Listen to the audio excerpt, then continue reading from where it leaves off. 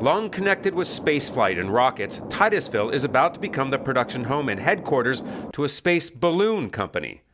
Space Perspective is a space tourism company that will lift passengers up to the edge of Earth's atmosphere in a balloon. And for those on the Space Coast, it'll be different in many ways.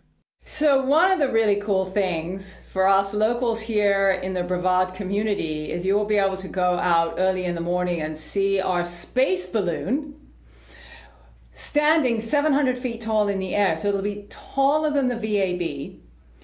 And the entire launch is silent.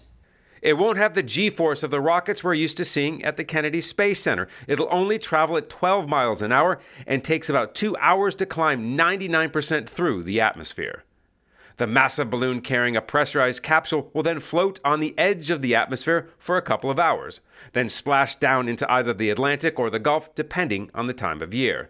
The first test flight was in June. They expect to start selling seats at the end of 2024. Calling it their spaceport, their Titusville campus at Space Coast Regional Airport in Titusville will also house the production hub. So we're standing up our balloon manufacturing right now. So we'll be starting uh, actually making our own space balloons next year uh, in time for our flights later in the year. And we're also building our spaceship here, the capsule. So the entire vehicle is going to be built here.